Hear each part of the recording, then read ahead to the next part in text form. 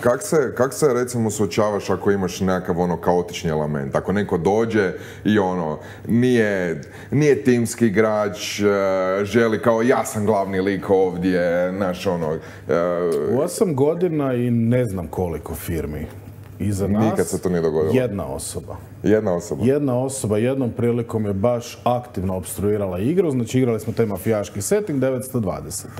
I sad mi u početku na briefingu kažemo, gledajte, nema načina da vi pokvarite igru dokle god se držite settinga. Smijete se šalit, smijete šta god, ali ono, ajmo izbjeći mo- spominjanje modernih stvari jer nas to izbacuje iz priče. I onda smo imali i e, osobu koja je kontinuirano spominjala moderne političare, moderne banke, moderne neka, ono, daj da peglam karticu i takve fore.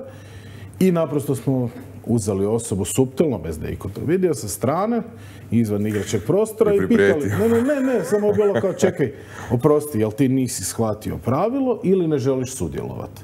Jer ako A, ako nisi shvatio pravilo, evo još jednom te molimo, pr- probaj iz igre izbacite moderne reference, zato jer evo nekoliko vaših kolega smo primijetili da ne reagiraju baš sretno, jer oni su se uživali, oni tu rješavaju ubojstvo mafijaškog sina, a ti bacaš danas, ono, moderne političare, jel?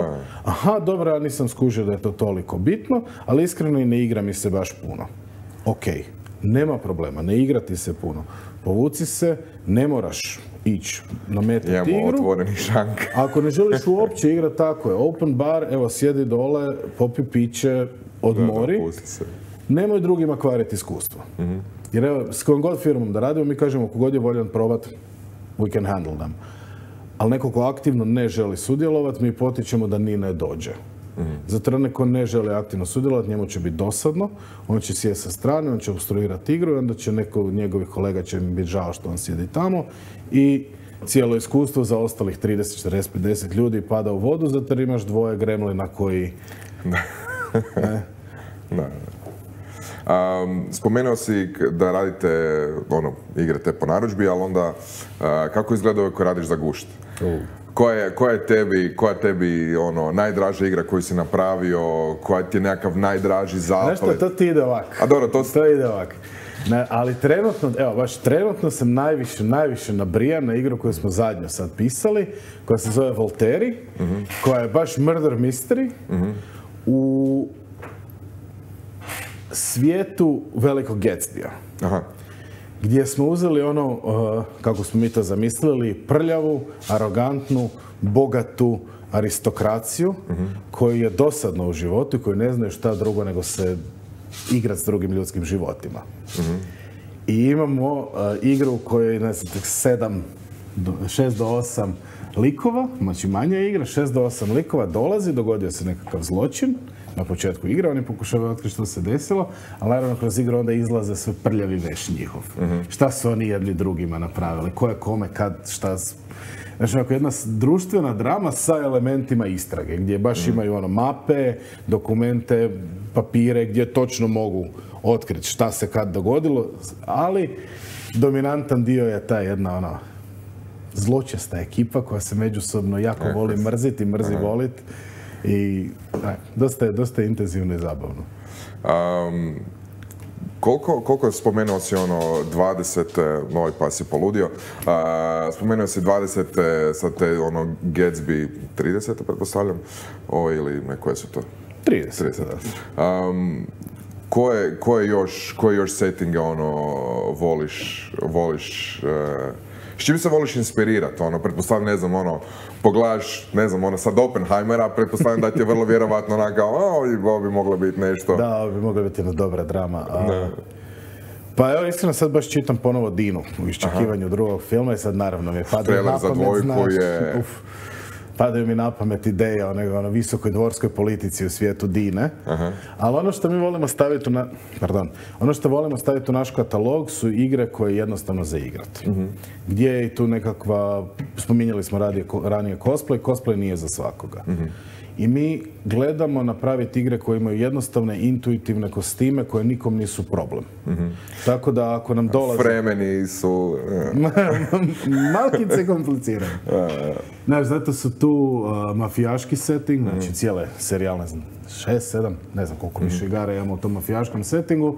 U osnovi trodjelno odijelo, traka za kosu, suknje, kostimi i to super izgleda. To baš ono doda taj jedan moment. I, je rijetko kad si na zabavi da su svi ono tri piece Da, da. odijela, žene u suknjama, haljinama, one biserije, rukavice, cigaršpici i tako. A Gatsby je opet tu vrlo sličan, samo još više flashy, tu boje i takve stvari. A, moderni čarobnjaci su jedan od treći od naš, ajmo reći, najveći setting, gdje je inspirirano bilo čime. Znači, živimo u moderno doba, možeš doći u t-shirtu i trapericama ili možeš doći u dedinom kaputu jer se tako tvoj čarobnjak oblači. I onda je tu ta mala ekscentričnost tih naših modernih čarobnjaka, zabavna, gdje evo na najvećoj igri koju smo imali u dvorcu Stara Sušica, smo imali igrača koji je nosio Pikachu onesie. Jer je njegov I čarobnjak. njegov lik je savršeno funkcionirao i ako da on nije nosio Pikachu onesie, nešto bi bilo krivo. Časna riječ. Jednostavno, on je ekscentrični izumitelj. Aha. I to je fantastično funkcioniralo. Kako je izgledalo to na lokaciji? Ono, spomenuo ste se baš ono radili u, u dvorcu. Mislim da sam vidio čak i neke, i neke fotke s toga. To je bilo jedno od najstresnijih i najzahvalnijih iskustava koje smo mi, ne znam za ostatak tima, time bi rekao da je bilo najstresnije, ali meni. To je bilo jedno od najzahvalnijih iskustava jer toliko mjeseci rada, ono, ali baš manijakalnog rada se slilo u tih tri dana i kad se sve tako, ono, kad je sve sjelo na mjesto kad je ta igra krenula, kad su igrači pro, ono, krenuli full igrat, evo ja ti kažem, ja u jednom trenu sam vidio magiju kako leti. Znači, ali to, to je tolika količina uživljenosti bila svih igrača i svih sudionika na licu mjesta da bio je u jednom trenu veliki sukob i 17 štapića leti A vade kedavre leta. ne, ne, ne, ne, neoprostive kletve. Ne. I plus nismo, nismo se vukli tuđima i pijem. Svoje, svoje vlasništvo, svoj a, svijet smo stvarali, ali uživljenost svih tamo je bila doslovno magična. Evo, časna riječ. Znači, kažem ti, to, to lete štapići i sad da ti zamrzneš taj trenutak u svijetu i vremenu i da pogledaš taj trenutak kao kako itko ovdje može pratiti što se događa. baš sam htio pitati, ono, kak zna, ono, kao joj pogodio sam. Ali mislim. svi igrači su pratili sve i sve je funkcioniralo savršeno.